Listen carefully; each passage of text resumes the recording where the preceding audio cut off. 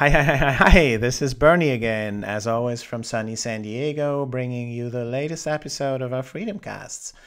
This time about accessing your individual antlets by domain name. So we've showed you already how you can access Antman by domain name. So if you do aster.antsle.us, um, so we showed you that in one of the free previous Freedom casts. Um, that's our instant SSL, right? So you just say aster.antsle.us, you get that subdomain from us, Aster, and we automatically create you the SSL certificate. Um, and it's completely free, and you have Antman using SSL. So now the problem is how do you access your individual antlets? So we've created the Debian antlet here named Deb, and we've installed just a naked Apache here, um, nothing else in there.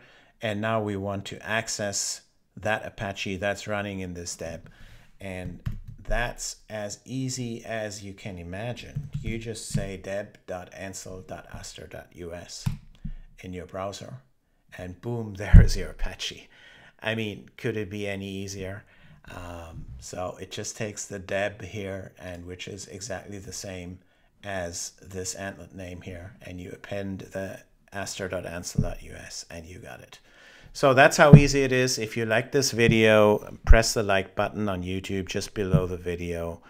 Um, subscribe to our channel, um, post about this video and about Antsle to all your friends on social media.